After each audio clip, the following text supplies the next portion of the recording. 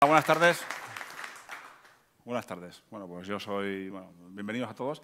Vamos a hablar un poquito de. Sí que la descripción un poco de la, ponencia es un poquito exagerada, ¿vale? Pero vamos a ver un poquito eh, lo básico para eh, qué hay que hacer para crear un plugin, ¿vale? La estructura que vamos a hacer y luego cómo subirlo al repositorio, qué paso a seguir, ¿vale? Va a ser sencillito para que todos podamos hacerlo, todos podáis hacerlo y no le tengáis miedo a esto, porque es una tontería, ¿vale? Bueno, aunque me ha, presentado este hombre, bueno, yo soy Oscar Folgueira, aquí tenéis, desarrollador WordPress, tenéis aquí mi, mi Twitter, ¿vale? Vale, y el tema de los podcasts, ¿vale? Que ya me gusta mucho hacer podcasts, eh, estos dos son los nuevos, ¿no? Los que estoy haciendo ahora mismo con, con Fernandito, y estos son antiguos, ¿vale? Pero bueno, sin es que lo tengáis ahí, que, que pues puede venir bien, porque estáis también una risa, ¿vale? Entre otras cosas, hablamos de, de WordPress, ¿vale? Entre otras cosas. Bueno, primero vamos a definir, porque incluso, bueno, para saber un poquito qué es un plugin, ¿vale? Un plugin eh, no es más que un trozo de código, ¿vale? Es, código que generalmente va a ser PHP, pero bueno, puede ser tan sencillo como una línea de código o tan complejo como pues, miles de líneas, por ejemplo, ¿vale? Entonces, pero el, el tema es no perderle miedo, o sea, no tenerle miedo. Quiere decir que cualquiera puede hacer un plugin, ¿vale? Y luego también, si queremos, subirlo al repositorio. Si vemos una necesidad, pues ahí está eh, la posibilidad de hacerlo. ¿Qué hace un plugin? Un plugin añade funcionalidades. Añade funcionalidades quiere decir que modifica el comportamiento natural de WordPress. Eh, WordPress tiene una serie de funcionalidades, eh, características, y mediante el plugin podemos modificar esas funcionalidades, ¿vale? Añadirlas o quitarlas y, demás. podemos añadir mejoras, eso es lo que mola, ¿no? Añadir mejoras porque es posible que, eh, no solo de WordPress, ¿vale? hablamos de cualquier otro plugin, por ejemplo WooCommerce, podemos hacer un, plugin para que realice unas modificaciones eh, de, ese, comportamiento de, WooCommerce. Por ejemplo, eh, quitar el, o cambiar el texto del botón de añadir al carrito, ¿no? es una cosa muy típica, bueno, pues podemos hacer un plugin para, para hacer eso y más cosas, ¿vale? Como decía, cambios, ¿vale? Hacemos, generalmente vamos a querer un plugin para que realice cambios. Yo eh, lo que suelo hacer mucho en cada desarrollo que hago es, bueno, ya sabéis que normalmente ponemos el código, la mayoría eh, se suele meter en el functions, ¿no? Functions PHP. Ahí vamos metiendo nuestro código. Dependiendo de la cantidad de código que metamos, pues igual es un poquito... Eh, llega un tiempo que tenemos mucho código ahí y luego no sabemos que lo tenemos ahí, ¿vale? Entonces, lo ideal, lo que hago yo es siempre, en cada desarrollo, es crear un, plugin, que le llamo functions, ¿vale? que es eh, descriptivo, y ahí es donde meto toda esa, toda esa, eh, todo ese código ¿vale? para que no esté en el functions. ¿vale? Porque en el functions ya sabéis que depende del tema. El plugin no depende del tema. ¿vale? Eh, si, lo incluimos en el functions, ese código, el que sea, una línea o 100 líneas, las que sean, y cambiamos de tema, de plantilla, si cambiamos de tema, perdemos ese functions. Ya sabéis que tenemos eh, otro functions, entonces perdemos ese código. ¿vale? Entonces, si lo mantenemos en un, en un fichero, bueno, en un, plugin, ¿eh? Eh, que podemos llamar functions o como queramos, ¿vale? o el, nombre de nuestra empresa, por ejemplo. Si es para un cliente, podemos poner plugin en la empresa para, quedar mejor. ¿no? ¿Vale? Pues eso, yo suelo hacer eso. Yo, os aconsejo que hagáis eso, ¿vale? Para no perder ese código cuando cambiemos de, tema. Y bueno, lo que en definitiva lo que hace un plugin es eh, darle más caña a WordPress, ¿no? Lo que queremos es eh, que WordPress haga unas cosas que no, lo hace por de por sí, ¿no? Cambiarlo y ponerlo a nuestro gusto. Vale, eh, vamos a ver la estructura de un plugin. Un plugin puede ser un solo fichero, que va a ser el nombre del plugin .php. En este caso he puesto el ejemplo de mi plugin.php o puede ser eh, dentro de una carpeta, de un directorio, y ahí vamos a meter, eh, la carpeta se va a llamar mi plugin, el nombre del plugin, eh, y, el, fichero inicial se va a llamar también, el fichero principal se va a llamar también mi plugin.php. Y luego podemos tener todos los ficheros y directorios que queramos o que, nos, que necesitemos, ¿vale? Ya digo que puede ser un fichero un directorio con un fichero o un directorio con, vete a saber tú, ¿no? Podemos tener el directorio CSS, el directorio JS, eh, assets, lo que queramos, ¿no? Todo lo que nos haga falta para ese, para ese plugin, ¿no? Eh, siguiente. Vale, esto es un ejemplo de una cabecera del fichero eh. Viene este, viene este en el directorio de plugins o bien esté dentro de un directorio, ¿vale? Mi plugin barra, o sea, plugins barra mi plugin.php. Entonces, este es un ejemplo. Eh, abrimos PHP, por supuesto, ¿vale? Y luego aquí, esto es una serie de, eh, pues, decirlo así, de, líneas que debemos respetar estos nombres, ¿vale? Debemos respetar esto así como está, ¿de acuerdo? Entonces, eh, no todas son obligatorias, e incluso hay más, ¿vale? Pero si repasamos un poquito, si os parece bien, eh, plugin name, bueno, pues el nombre del plugin, ¿vale? Este es un plugin que, está en el repositorio, que lo hice yo por, por la, pues, como hacía falta. Eh, vi una necesidad, yo siempre, este, este, en concreto lo que hace es una serie de tareas, eh, una serie de tareas que realiza justo después de instalar, ¿vale? Yo instalo WordPress y luego siempre hago. Eh, borrar el, post por defecto, borrar la página por defecto, eh, modificar el tema de los enlaces permanentes, ¿vale? Una serie de cosas. Bueno, pues como, lo hago, siempre, bueno, pues se me ocurrió hacer este, este plugin, ¿vale? Que se llama así, ¿vale? Entonces, bien. Luego el, plugin URI, pues es la URL de donde tenemos la información de ese plugin, ¿vale? Si queremos la ponemos, si no, no. Pero vamos a ver ahora eh, qué pasaría, ¿vale? La descripción del plugin, ¿vale? El autor, por supuesto, eh, la URL del, autor, esto no es necesario, pero eh, incluso hay más. ¿eh? la versión del plugin, que la podemos ir cambiando según vayamos haciendo las versiones, podemos ir cambiando este, esta, versión. En la licencia, eso sí, licencia yo creo que es interesante, pues es obligatoria, ¿no? Siempre va, aunque no la pongas, siempre va bajo GPL. el dominio del test domain en este caso es para, para las traducciones, ¿vale? Para, para realizar las traducciones. ¿eh? Y el dominio del el, path de dominio donde van a estar los, los POS, digamos, ¿no? los PO y los MO. ¿no? Es un ejemplo, ¿vale? Hay más cosas, ¿eh? pero no todas son obligatorias. El, nombre del plugin sí es obligatorio. Vale, aquí vemos, aquí vemos lo que hemos, esto que hemos puesto aquí, ¿vale? Lo vamos a ver en el, en, el, apartado de plugins del admin, vamos a ver esto, ¿vale? Si os fijáis, el nombre del plugin, el la descripción, la versión y tal, el autor y tal, ¿vale? Sin activar de momento, ¿vale? Pero esto es lo que hemos hecho aquí. Con esto, lo que conseguimos es esto. Aunque no tengamos, si fijáis aquí no hay código. De momento no vemos código, ¿vale? Si no tenemos código, lo que aparece es esto. Lo activamos y no va a pasar nada, ¿vale? Pero ya tenemos un plugin, ¿vale? Ya veis que es sencillo hacer un plugin, no, no tiene ninguna, ninguna historia. Entonces, podéis ir quitando el miedo, haciendo pruebas, que es muy sencillito. Ahora vamos a ver un poquito los ficheros que puede tener el plugin. Este plugin en concreto solo tiene un fichero eh, de código, ¿vale? Eh, que es el, de, el nombre del plugin .php, ya lo veis, ¿no? El resto, pues eh, el tema, el lenguaje es, lo que tiene son los idiomas, ¿vale? Que en este caso pues no tiene, no tiene ninguno, pero ahí está. Y el readme es un fichero muy interesante, que es donde le damos la información a WordPress, al repositorio de WordPress, ¿vale? Ahí donde le ponemos una serie de información para pues, la descripción, pues, los screenshots, ¿vale? las pantallitas estas, que le vamos a meter en otra carpeta. ¿vale? Vamos a ver. Vale, ¿cómo publicarlo? Ya tenemos nuestro plugin con nuestras características, ¿vale? con lo que sea. ¿vale? Hemos hecho un plugin eh, pues, que hace una serie de cosas o una cosa.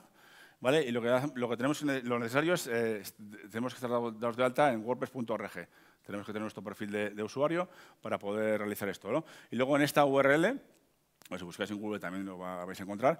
Aquí está en castellano, ¿vale? Eh, aquí podemos eh, mm, eh, dar de alta, bueno, o solicitar la petición de que queremos subir un plugin al repositorio. Entonces lo que hacemos aquí es subir el fichero, le metemos el fichero zip y le damos a subir. Cuando hacemos esto, no quiere decir que, que, vaya a ser publicado, sino que lo hemos mandado y en un tiempo, pues que puede ser unos días, o depende de cómo anden revisando los plugins, pues igual tardan un poco más. Pero bueno, generalmente yo creo que tres, cuatro días suelen, suelen responder. Nos va a llegar un correo.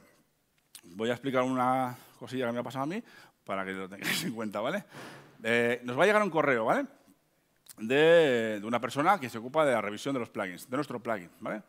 Nos va a llegar un correo nos va a decir, mira, pues mira, pues hemos visto tu plugin, parece que está todo bien, eh, te hemos asignado esta URL, este slug, ¿vale? Eh, va a estar dentro de wordpress.org plugins el slug, ¿vale? Eh, pues el slug al final es, es, el nombre del plugin acortado, ¿no? O sea, entre eh, líneas, ¿no? En minúsculas. ¿Qué pasa? Eh, en ese momento que nos llega el, correo, tenemos que revisar ese correo. Nos va a decir, mira a ver que todo está bien correcto, el nombre del plugin, la, la slug y tal, y si tienes algún problema nos comentas, ¿vale? Para poder modificarlo, poder hacer lo que sea. A mí me pasó que yo vi el, mensaje, digo, vale, cojonudo, ya está aprobado, vale. Eh, ¿Qué pasa? Que lo di, lo di por aprobado. Digo, ya más, dentro de unos días subo el, el, código, ¿vale? Porque todavía no hemos subido el código, ¿eh? Hemos dado un, fichero zip, pero todavía no hemos subido el código. Eh, ¿Qué pasa? Que me equivoqué de, ¿vale? Donde, donde quería poner, eh, creo que era everywhere, puse anywhere, ¿vale? Y me di cuenta justo tarde, cuando iba a subir el, código al SVN, digo, hostia, me he equivocado cogí el correo, o sea, igual hacía cuatro o cinco días que había recibido, que no había hecho ni caso, respondí al correo, oye, perdona, mira, es que me he equivocado, eh, perdona, ya había modificado las funciones y tal, eh, si no te importa, cámbiame el, nombre del, este, el slug y tal. Me dice, pues no, pues no se puede cambiar. Digo, ¿cómo que no? Si no te cuesta nada, ¿no? Es una tontería cambiar el nombre, ¿no? Que es una, es una palabra.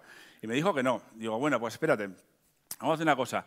Me borras ese plugin y yo hago otra solicitud con el nombre, el nombre nuevo. Y dice, no. Dice, no, de eso nada, majo, ya está hecho. Esto se queda así. Esto se queda así. Entonces, la única solución que tuve fue eh, el slug se quedó como estaba, como me había dicho ella, y yo le cambié el nombre del plugin. Quiere decir que el plugin se llama mm, eh, eh, Anywhere y el slug es Everywhere, o al revés, algo así, ¿vale? Pero bueno, digo que lo tengáis en cuenta, cuando recibáis ese correo, si lo recibís, echadlo un vistazo rápido. O sea, en ese momento, ¿vale? Y porque no os pase lo que me pasa a mí y que seguramente me volverá a pasar. No te digo yo, no. Gracias, ¿Vale? Seguro que me pasa, seguro. Eh, vale, la revisión, vale, eh, lo, que os decía, ¿vale? Eh, nos llegará ese email de, confirmación, los datos, y este digamos que es el, la URL que nos dan, ¿vale? Entonces lo vamos a subir por, por SVN. Ahora comentamos un poquito lo que sube SVN. Y esta es la, entonces, si, la, si mi plugin, esa URL, no ese slug, no es el bueno, no es el que queremos, pues decíselo rápido. Y espero que, no sé si lo cambiarán, pero vamos, decíselo rápido por si acaso. Vale, aquí es subversión. Vale, subversión, bueno, al final es, em, para que nos entendamos, lo que vamos a hacer va a ser, ellos nos van a dar, nos van a dar una, bueno, nos van a cuatro, ¿vale? Pero van a dar una carpeta de, trunk, ¿vale? Y ahí es donde vamos a dejar nuestro eh, plugin real, el plugin que funciona, ¿vale? La última versión. Eh, lo único que tenemos que hacer es subirlo por, SVN. Entonces, bueno, yo lo suelo hacer por, por código, ¿vale? Que, con SVN, pero bueno, hay herramientas eh, pues tanto para Linux como para Windows como para, para Mac, para realizar esto, este, esta tarea. ¿no? Al final es un programita que vamos a tener en nuestros ficheros y le damos, es como algo como Git, entre comillas, ¿vale? Vamos a subir esos, esos ficheros, ¿vale? Y podemos luego modificarlos. Eh, os comento, no sé si está por aquí. Eh, os decía que nos van a crear cuatro carpetas. En una de ellas vamos a tener que meter las, los screenshots. Si tenemos screenshots, ya sabéis que son las pantallitas que salen en el... ¿No? Está más adelante. Digamos, las capturas de imagen que aparecen en el, plugin, en el repositorio, aparecen una serie de capturas de imagen. ¿eh? O una o, ninguna también, hay gente que no sube ninguna. Pues ahí en esa carpeta vamos a meter esos ficheros, ¿vale? Y luego lo vamos a indicar en el readme. Ahora lo vamos a ver un poquito así. Pero bueno, que no le tengáis miedo a USVN, pues es una tontería, ¿vale? Si, no sabéis manejar USVN, eh, al final son dos comandos, pues lo hacéis con algún programa de estos para empezar un poquito a soltaros, que es muy, muy interesante, ¿vale? Vale, el fichero readmen, el que os he comentado. Este fichero readmen nos va a servir para darle información a wordpress.org. Ya sabéis que en la, en la pantalla, en la imagen, en la, en la página del plugin, en el WordPress.org, hay una serie de información, ¿no? Sale el nombre del plugin, pues luego tenemos una descripción que ponemos nosotros. Este plugin hace no sé qué, bueno, en inglés, ¿vale? Watching the night underwear. ¿Vale? Ponemos toda la información que queramos. Luego está eh, también las preguntas frecuentes, si os habéis fijado, ¿verdad? Eh, luego también están las capturas de imagen, bueno, y algún tipo de información más que incluso podemos incrustar eh, vídeos y demás, ¿vale? Eso ya a gusto del consumidor. Entonces ahí lo que vamos a meter es la información del plugin, lo más importante, la descripción, que os digo, el screenshot, y los, cambios. Ahí es los cambios que vayamos haciendo por versión. ¿vale? Eh, por ejemplo, el otro era la 1.8, pero claro, yo lo suelo crear con la 0.9 o 0.99. La primera vez que subo, no subo la 1.0, sino que subo la 0.90 o 0.99, ¿vale? Para, por si hay que hacer, porque seguramente hay que hacer cambios, Entonces, luego, cuando saco la 1.0, pues ya indico los cambios. Y cuando saco la 1.1, pues también los cambios que veo en esa versión ¿no? van para atrás, la, última arriba. Eso es la información que vamos a poner, eh, que vamos a incluir en el fichero readme.txt. ¿vale?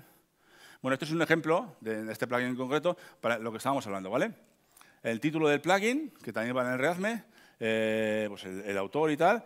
Eh, luego aquí veis la descripción, ¿vale? toda, esta, información se mete en el readme y ya veis que incluso así, ¿vale? Y luego abajo están las preguntas frecuentes, que no se ven, pero ahí están, ¿vale? Y luego también podéis ver ahí la, versión del plugin y, alguna cosilla más. Bueno, eh, este plugin, no os asustéis, que pone menos de 10 instalaciones, pero se instala mucho, ¿eh? Ojo, cuidado, ¿eh? ¿Sabéis qué pasa? es un plugin muy especial. No sé si, habrá, no sé si hay otro eh, igual en el repositorio. ¿Por qué? Porque este se desinstala solo, ¿vale? Este es lo que hace, como os he dicho. Se instala, o sea, cuando tú lo activas, eh, hace lo que tiene que hacer, ¿vale? Hace unas 10 o esas cosas, ¿no? Pues 8 o 10 tareas y se, se, desactiva. No se, se desactiva. Entonces, claro, instalaciones activas, pues, pues, pues, pues, una o ninguna, ¿no? Porque se desactiva solo, ¿vale? pero bueno, que se usa, ¿vale? y, si fijáis, ahí tiene 13, 13 estrellitas, clean, clean, clean, ¿eh? Ahí está. ¿vale? 13, estrellitas, ¿vale? Eh, bueno, digamos que esta es la información que vamos a poner en el Reazme, ¿vale? Eh, pero otra cosa es que, como os he dicho antes, hay que tener creado usuario en wordpress.org. Muchas gracias, hasta. He terminado pronto, macho. ¡ah! De todas formas, Cualquier, yo he intentado hacerlo lo más sencillo posible para que eh, quitéis el miedo de crear un plugin, ¿vale? Entonces, eh, cualquier pregunta que tengáis sobre, sobre cómo hacer un plugin o cómo hacer cosas para un plugin, me las comentáis. Yo voy a estar aquí y luego voy a estar echando unas cervezotas también por aquí, por el que pin que pan, y me comentáis, ¿vale? Sin problema, ¿vale? Hay un chico allí con una mano para arriba. plugin de Misión Imposible es ese.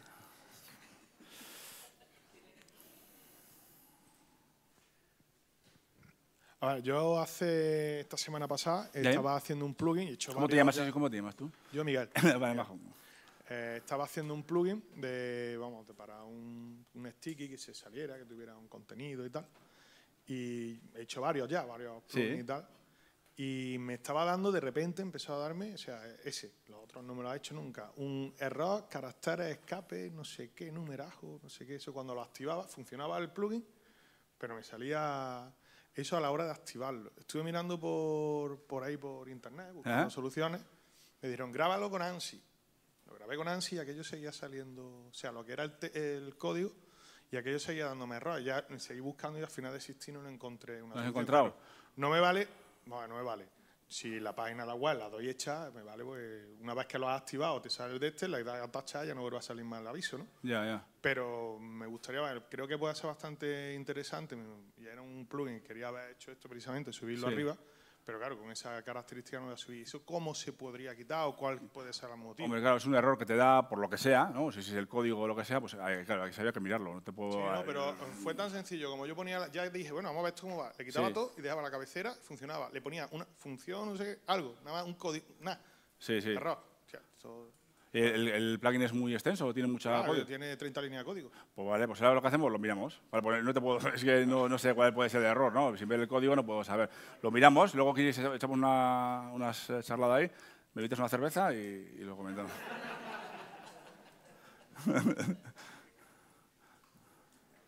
Muy buena pregunta.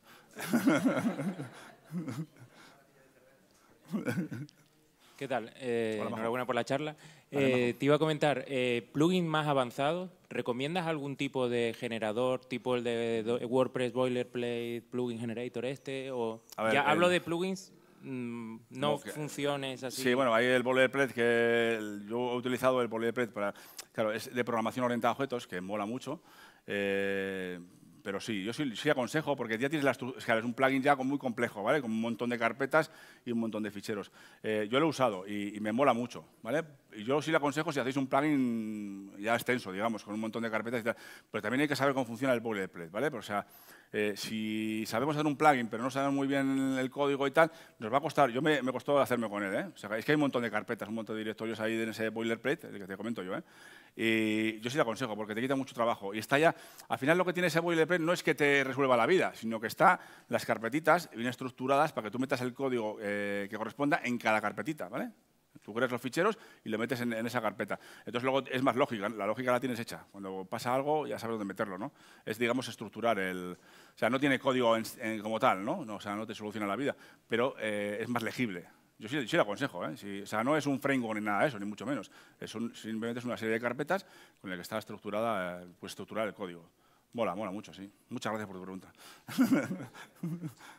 ¿Alguna pregunta más? De lo que sea, ¿eh? Luego tú, luego tú. Luego tú. A la cola. En la charla que hemos tenido antes de Javier Casares nos está hablando del Project Tide, algo así. ¿De? Project Tile, ¿puede ser? era un sistema en el cual iban a empezar a verificar la calidad del código de los plugins subidos y se iban a poner una clasificación de estrellitas, aparte de las opiniones de los usuarios, otras estrellitas. Entonces se supone que iban a pasar una serie de automatizaciones para ver la calidad de ese código. Mm. Entonces, eh, lo digo por la pregunta anterior, que en la cual te dicen de usar algo que ya tiene una estructura básica de código, aparte que luego lo programes en condiciones y tal, pues eh, que se supone que va a ser una...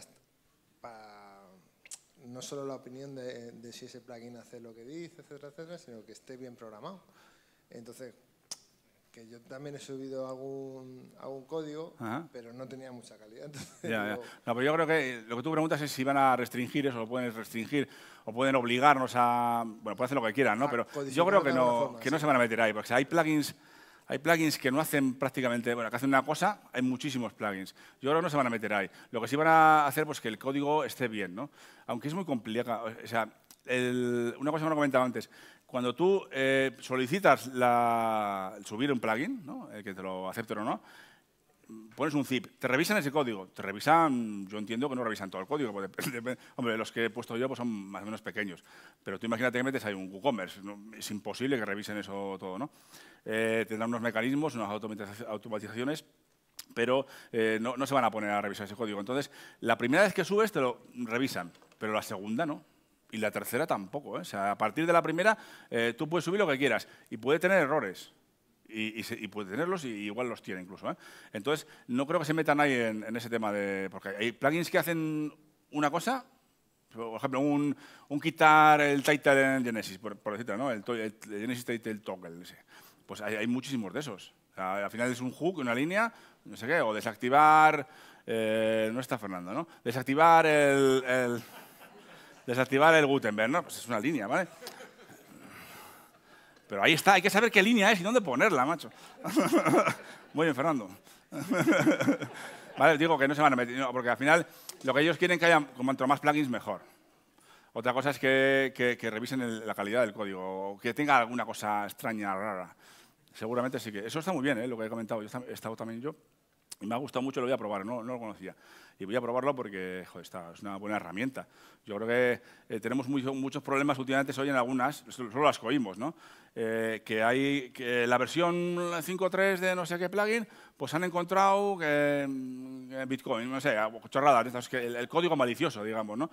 Hombre, pues no mola, tío. Estás confiando toda la vida durante un tiempo en ese, en ese plugin y de repente te, te la meten por detrás sin, sin darte cuenta. Si por delante te vas a dar cuenta, ¿me entiendes? Por eso te digo detrás. Entonces yo creo que yo, eh, creo que, está muy bien, pero yo tengo que probarla, no la he probado, ¿eh? Yo la tengo apuntada ahí. Muchas gracias, Majo. yo te quería preguntar si haces una serie de funciones que quieres aplicar en varios temas, ¿es mejor crear un plugin genérico o para cada función específica crear un plugin distinto? Me refiero, yo quiero en todas las instalaciones WordPress que tengo quitar la versión de WordPress, por ejemplo. Y quiero, por ejemplo, el minimizar todos los JS. ¿Es mejor crearse dos plugins separados para cada función por distinto o, meterlo todo en un plugin solo? Bueno, ya que no está Darío, vamos a ver. Eh, el tema aquí es eh, las llamadas, ¿no? Has grabado, hola Darío. Eh, el, tema, el, tema, el posible, problema que puedes tener es que son dos plugins, no, no, no lleva a ningún sitio. O sea, vas a tener el que decía Darío, porque el, tema de las llamadas, ¿no? El tema de las llamadas a la base de datos, cada vez que, que tiene que, ver que está ese plugin activo o tal, ¿no? Pero que yo lo que haría en ese caso, si es muy pequeño, o sea, no es muy grande, ¿no? O sea, hablamos de cosas... No, o sea, claro, serían funciones muy básicas que a y es siempre el mismo para es todos. crear un plugin para una línea de código. Pues yo lo que haría, prefiero crear un plugin con esas cuatro o cinco cosas, que igual no utilizo cuatro porque en uno solo utilizo tres. Bueno, pero yo, yo haría para, por más limpieza, ¿vale? Es que si no vas a tener...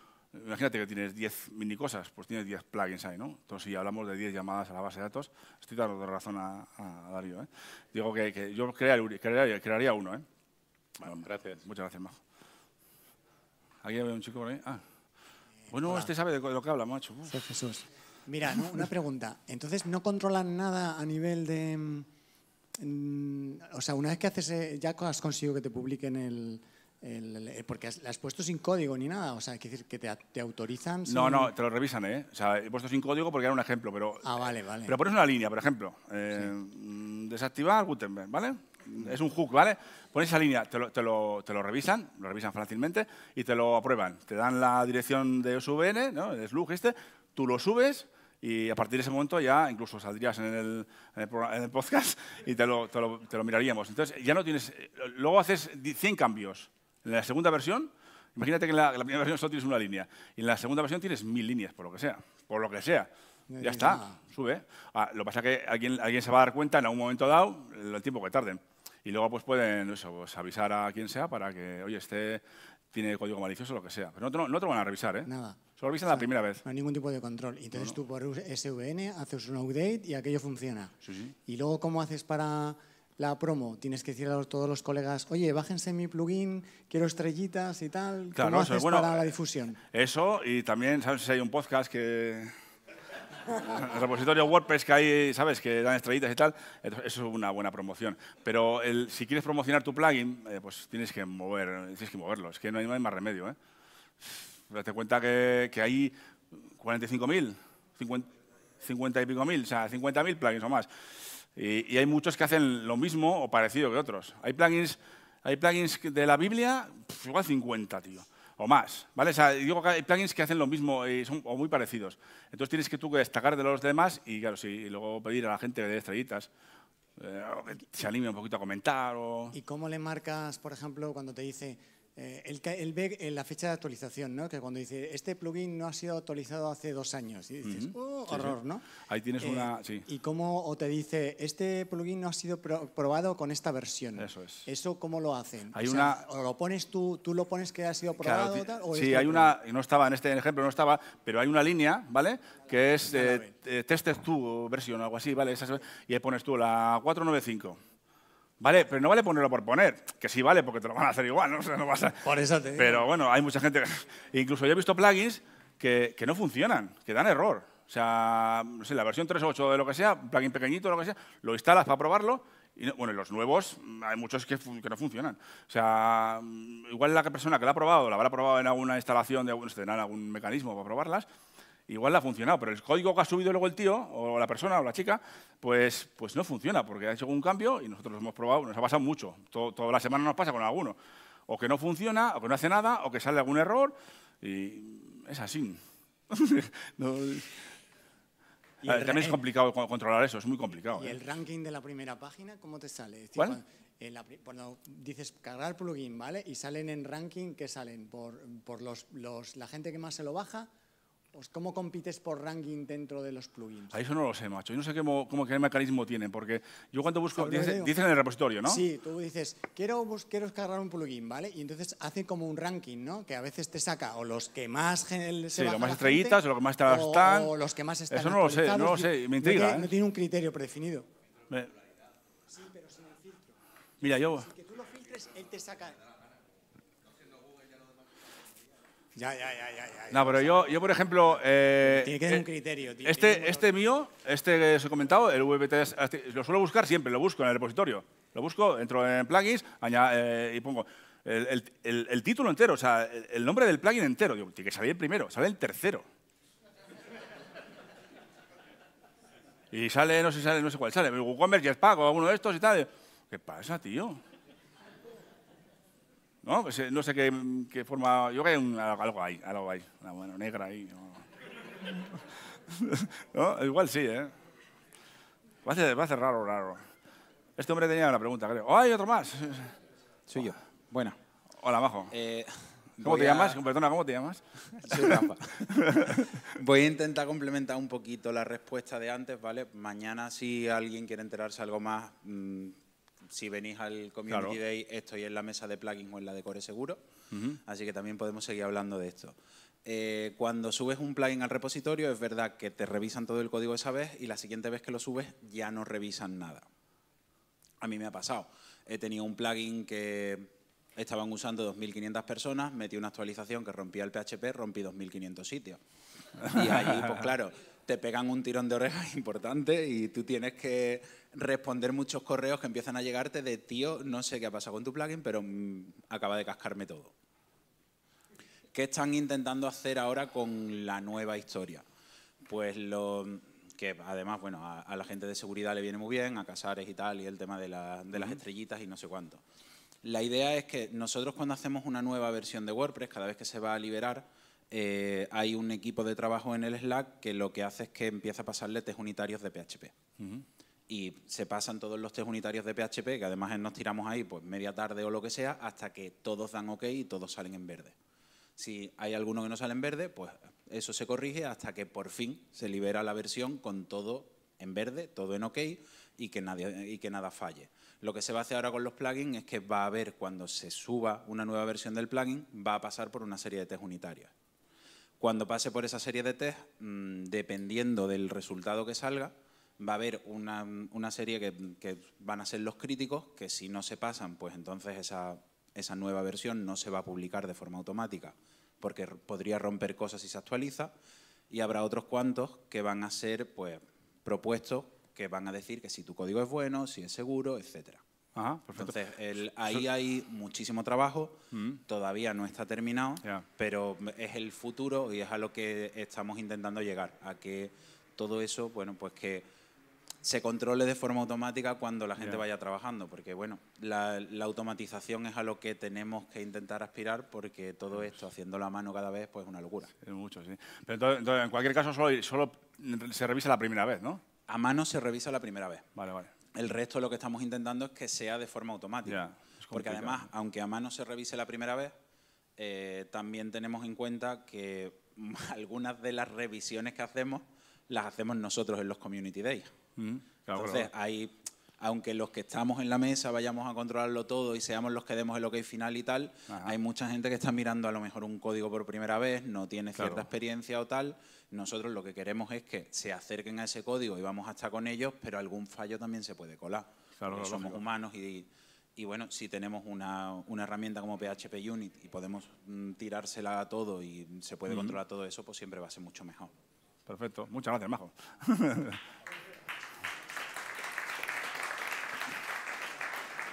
¿Alguna pregunta más? He hecho a correr a por cervezas, ¿eh? Aquí. ¿Ah, está contestada? Ah, vale, ya. ¿Alguna pregunta más? Se ha rajado. Ahí. Ah, vale.